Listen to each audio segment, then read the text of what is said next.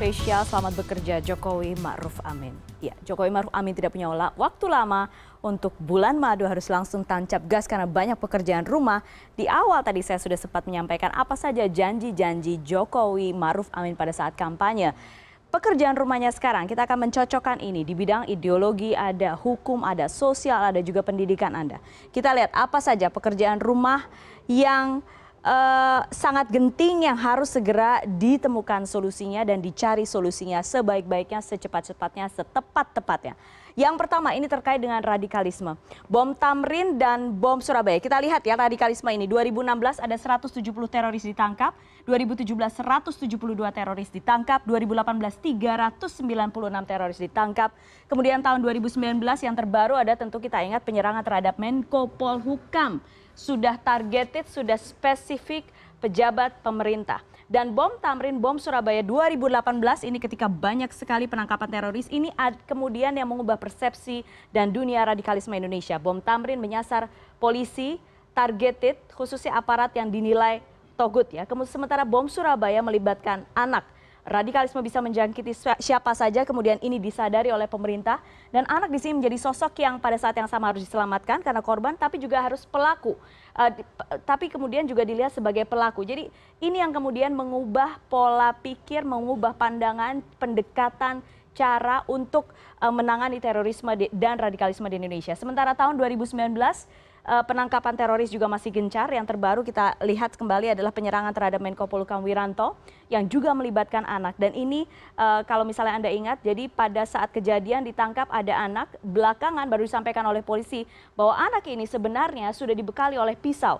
Jadi Anda bisa membayangkan apa yang terjadi sekarang. Kita melihat sekarang PR besar pemerintah apa?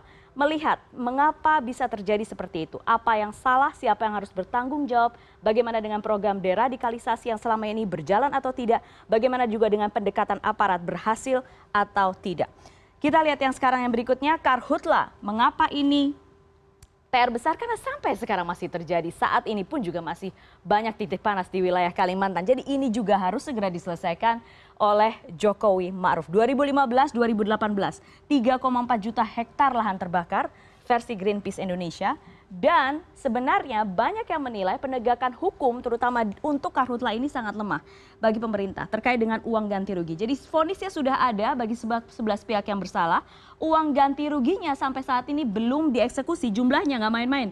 18,9 triliun. Ketika uang ini nanti bisa terrealisasi, bisa dieksekusi tentunya bisa membantu budget untuk pemulihan lingkungan gitu ya. Dan ketika uang ganti rugi ini belum ditagihkan kepada mereka yang sudah kena vonis, Jadinya apa? Jadinya efek jerahnya tidak ada. Pembakaran ada lagi, ada lagi, masih terjadi sampai sekarang.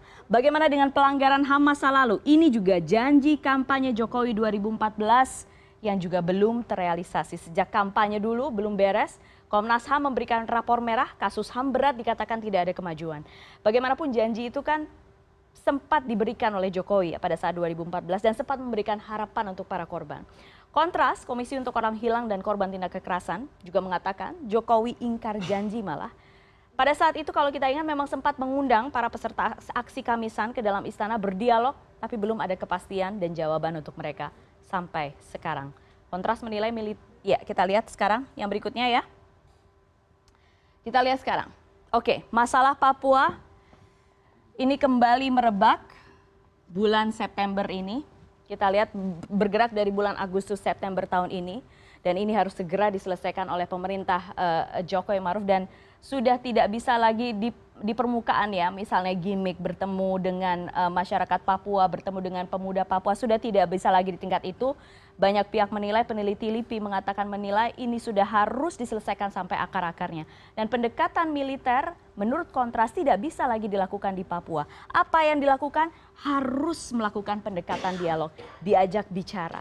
Karena mereka pun juga bisa diajak break, uh, masyarakat Papua bisa diajak bicara, bisa diajak duduk bersama untuk menjelaskan apa saja keinginan, apa saja yang ingin dinegosiasikan, apa saja yang diminta dari pemerintah Indonesia.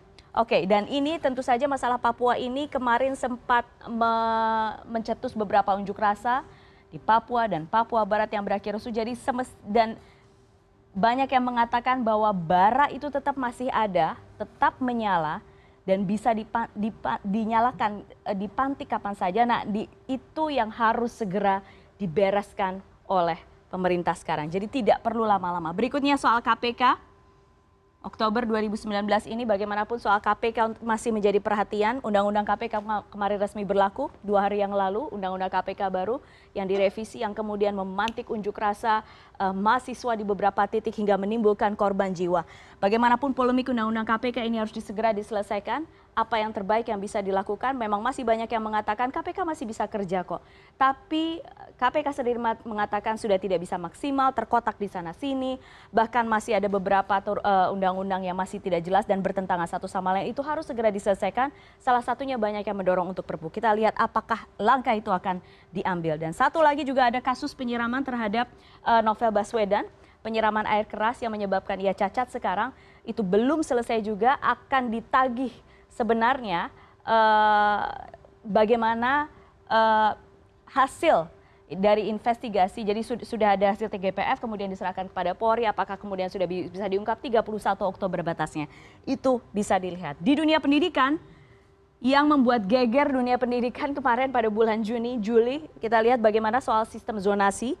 Sistem zonasi, sistem domisili yang sebenarnya sudah dilakukan, sudah sudah dilakukan, sudah disosialisasikan eh, sejak tahun 2017 ya ini tidak akan menjadi masalah jika infrastruktur pendidikan dan kualitas gurunya rata. Permasalahannya sekarang, infrastruktur pendidikan belum rata, kualitas guru belum rata, standar sekolah belum semuanya rata. Jadi itu yang menjadi masalah sekarang dan itu harus juga, juga diselesaikan karena masa-masa pendaftaran sekolah sekarang juga sudah banyak orang tua-orang tua yang sudah survei, sudah lihat-lihat sekolah, pilih mana yang paling baik untuk anaknya. Tentu semua orang tua ingin yang terbaik untuk anaknya.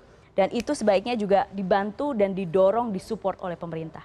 Nah, tadi di awal saya sempat menyampaikan ada akan ada lembaga talenta yang uh, akan dibikin oleh pemerintah. Nah, bicara soal talenta ada kabar baik untuk kita semua di tengah hiruk pikuk pelantikan ya.